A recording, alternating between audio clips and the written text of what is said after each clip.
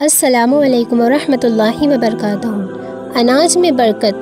हज़रत जाबिर रज़ी अल्लाह बयान करते हैं कि एक शख्स रसूल अल्लाह सल्लल्लाहु अलैहि वसल्लम के पास आया और उसने रसूल अल्लाह सल्लल्लाहु अलैहि वसल्लम से खाने को कुछ मांगा। तो आप सल्लल्लाहु अलैहि वसल्लम ने उसे थोड़ी जौ अता फरमाए।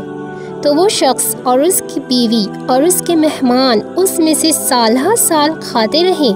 यहाँ तक कि एक दिन उसे नाप लिया तो वो बरकत ख़त्म हो गई। उसके बाद रसूल अल्लाह सल्लल्लाहु अलैहि वसल्लम की खिदमत में आए। तो रसूल अल्लाह सल्लल्लाहु अलैहि वसल्लम ने फरमाया, अगर तुम ना नापते तो हमेशा खाते रहते और वो तुम सब के लिए काफ़ी हो जाता।